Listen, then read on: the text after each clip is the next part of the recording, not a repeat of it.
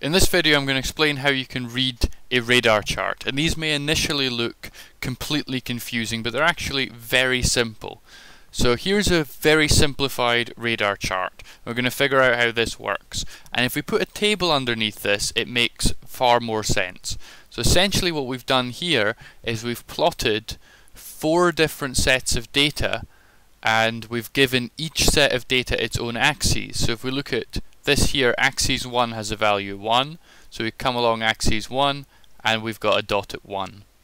Axis 2, we've got a dot at number 3. Axis 3, we've got a dot at number 2.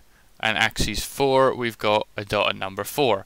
So essentially that's what a radar diagram is doing. It's simply plotting these numbers on a graph but assigning one axis to each thing. So these could be revenues or profits, and each different thing gets its own axes.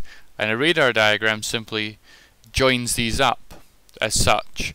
You see these intersections here are the points exactly like in this one. For example, axis 4 is 4, so if we come to, on here we've got axis 4, and we've got the point 4 here. These aren't terribly great diagrams, but occasionally they can be used as a quite clever way of illustrating something. So here's an example of a potential radar chart. This is a comparison of Intel to ARM Holdings.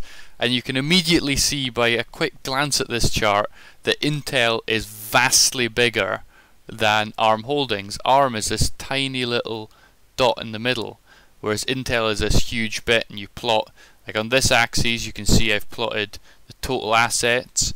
So total assets of Intel are here, total assets of ARM are here. So this gives interesting comparisons, but in general, uh, I'm not a huge fan of the radar chart.